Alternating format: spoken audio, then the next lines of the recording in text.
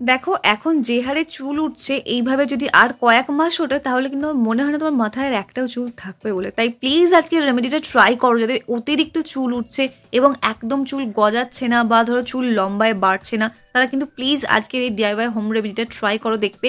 একুশ দিন ভালোভাবে ইউজ করার পর তুমি বুঝতে পারবে কত ভালোভাবে চুলটা গজাচ্ছে, কত ফাস্ট চুলটা গজাচ্ছে এবং মাত্র এক সপ্তাহের মধ্যে দেখবে তোমার চুল পড়াটা কতটা তাড়াতাড়ি রিডিউস হয়ে গেছে। আর যেহেতু এখন শীতকাল তাই ড্যান্ড্রফ কিন্তু হালকা ফুলকা অনেকেরই মাথায় আছে, তাই সেটা ক্লিয়ার করা মানে স্ক্যাল্পটাকে ক্লিন রাখা ভীষণ জরুরি এবং তার পাশাপাশি আজকের এই রেমেডিটা ট্রাই করলেও বুঝতে পারবে যে তোমার ড্যান্ড্রফটা একদম ধীরে ধীরে কিওর হয়ে যাচ্ছে। প্লিজ যাদের ড্যান্ড্রফ আছে তারা কিওর করো।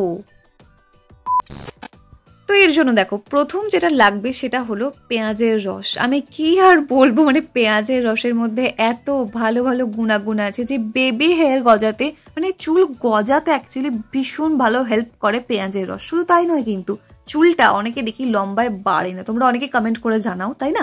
তাই তোমরা পেঁয়াজের রস ব্যবহার করো। টানা ব্যবহার করে দেখো কয়েকদিন। তাহলে বুঝতে পারবে। মানে কয়েক দিন না জাস্ট কয়েক মাস তোমাকে ভালোভাবে ব্যবহার করতে হবে, তখন বুঝতে পারবে যে কতটা চুলটা লম্বায় বাড়ছে এবং স্ক্যাল্প থেকে ড্যান্ড্রফটা কত তাড়াতাড়ি রিডিউস হচ্ছে সেটাও কিন্তু তুমি বুঝতে পারবে। এখানে আমি মোটামুটি নিয়েছি দুই টেবিল স্পুন মতো মানে দু চামচ, বড় চামচে দু চামচ মতো পেঁয়াজের রস। তুমি যে কোনো পেঁয়াজ এখানে ব্যবহার করতে পারো, কোনো ব্যাপার না। তবে দেখবে খুব ছোট ছোট পেঁয়াজ হয় না এক ধরনের? সেগুলো না খুব ফাস্ট কাজ করে। তাই ওটা নিলে বেস্ট অপশন আর না হলে যে কোনো পেঁয়াজ নিয়ে নাও। আমার কাছে তো এই নর্মাল এই পেঁয়াজগুলোই ছিল, তো এটাই নিয়েছি। চুল পড়া বন্ধ করার জন্য, চুল গজানোর জন্য যেটা বেস্ট উপাদান সেটা হলো ক্যাস্টর অয়েল ক্যাস্টর অয়েল একটা এমন উপাদান যেটা যেমন চুল পড়াটা বন্ধ করবে, তার পাশাপাশি চুলটা গজাতে হেল্প করবে এবং চুলটা লম্বাতেও বৃদ্ধি করবে, আর এত সুন্দর চুলে শাইন দেবে সিল্কি ভাব আনবে, যেটা বলার কথা নয়। বাট এটা শুধু তো ইউজ করা যায় না, কারণ নর্মালি ক্যাস্টর অয়েল প্রচণ্ড থিক হয়। ভীষণ হেভি একটা অয়েল তাই এটা ডাইলিউট করে ইউজ করতে হয় যে কোনো একটা অয়েলের সাথে। আদারওয়াইজ যে কোনো একটা ধরো পেঁয়াজের রস বা কিছুর সাথে ডাইলিউট করতে হয়। বড় চামচের দু চামচ মতো যদি পেঁয়াজের রস নাও, তাহলে নেবে এক চামচ মতো ক্যাস্টর অয়েল ক্যাস্টর অয়েল কিন্তু সত্যি বলছি খুব ভালো। এখানে আমি জাস্ট নর্মাল খাদির কোল্ড প্রেসড ক্যাস্টর অয়েলটা ইউজ করছি। এমন না যে তোমাদেরকে এটাও ইউজ করতে হবে, না। তোমাদের কাছে যেটা আছে সেটা ইউজ করো আদারওয়াইজ দেখো ভিডিও ডিসক্রিপশন বক্সে আমি খাদির এই যেটা আমি ইউজ করছি ক্যাস্টর অয়েলটা তার লিঙ্ক দিয়ে রেখেছি, তোমরা চাইলে সেখান থেকেও কিনে ব্যবহার করতে পারো।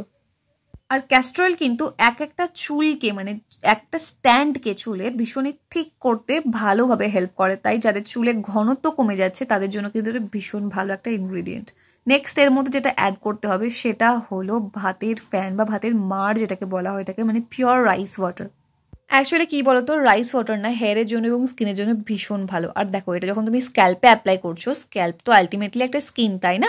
তাই ওই স্ক্যাল্পটাকে সঠিক পুষ্টি দেওয়া কিন্তু ভীষণ জরুরি। আর ঠিক তার জন্যই ভাতের মার নিয়ে নেও। মানে যত তুমি পেঁয়াজের রস নেবে, ঠিক ততটাই নেবে ভাতের মার এই ভাতের মারটা যেমন তোমার চুলটাকে সিল্কি করবে, যেমন তোমার চুলটাকে শাইনি করবে, ঠিক তেমনই কিন্তু চুলের গোড়াটাকে মজবুত করতে খুব ভালোভাবে হেল্প করবে। তাই চুলের গোড়া যদি মজবুত হয়, দেখবে চুল এমনিই ভালো হবে। দিয়ে প্রত্যেকটা উপাদান একসাথে ভালো করে মিক্স করে নাও। মিক্স করে নিলে কিন্তু রেডি হয়ে যাবে আমাদের ডিআইওয়াই হোম রেমেডিটা যেটা ইউজ করলে স্ক্যাল্পে ভীষণ ফাস্ট হেয়ার গ্রোথ হবে। এরপর ভালো করে যে কোনো একটা তুলোর সাহায্যে পুরো স্ক্যাল্পে অ্যাপ্লাই করে নাও।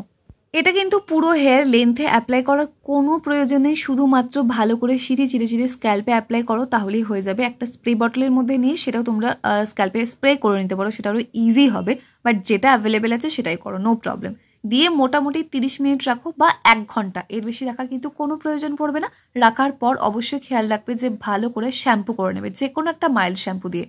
সেক্ষেত্রে দেখো এই ভিডিওর ডেসক্রিপশন বক্সে বেশ কয়েকটা ভালো ভালো শ্যাম্পুর লিঙ্ক দেওয়া আছে। প্রয়োজনে তোমরা সেখান থেকে কিনে সেটাও ব্যবহার করতে পারো। এটা কিন্তু ফ্রেশ বানিয়ে ফ্রেশ ব্যবহার করবে। দুদিন অন্তর অন্তর ব্যবহার করো। দেখো এক মাসের মধ্যে তোমার কিন্তু মোটা লম্বা কালো ঘন মজবুত চুল অবশ্যই হবে।